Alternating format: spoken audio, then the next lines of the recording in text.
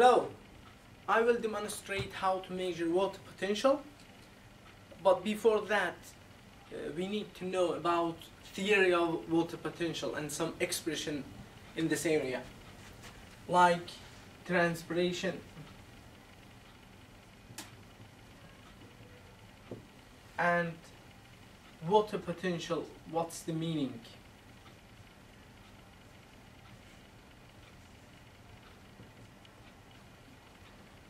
as we know 85 to 95 percent of most plant weight is consisted of water. And 95 percent of all water gathered by plant is evaporated by leaves.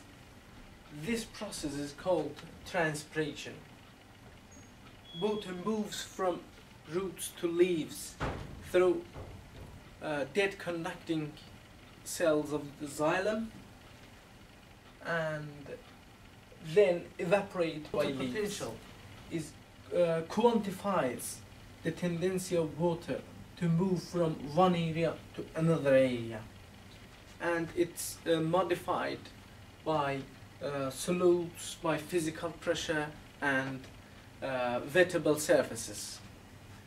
So we can write this equation that uh, water potential is equal to Turgor pressure minus osmotic pressure plus matric potential. This matric potential in most of the calculation is zero.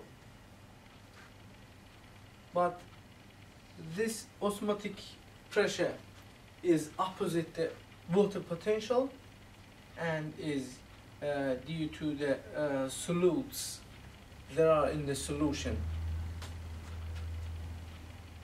But uh, Turgor pressure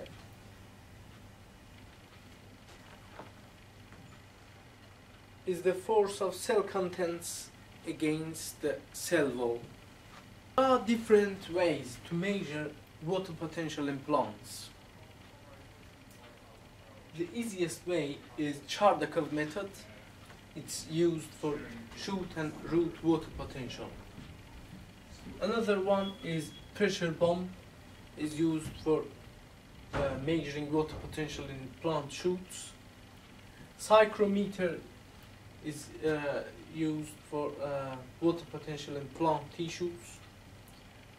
Cryoscopic osmometer is used for uh, water potential in, uh, not water potential exactly, it's uh, for osmotic pressure in solution. And uh, the last one is pressure probe for pressure bomb or pressure chamber or Scholander pressure chamber has got some advantages. For example, it is portable, you can use in field, in lab. It is rapid measurement, you can uh, measure quickly the water potential of plant and it is easy to use as well.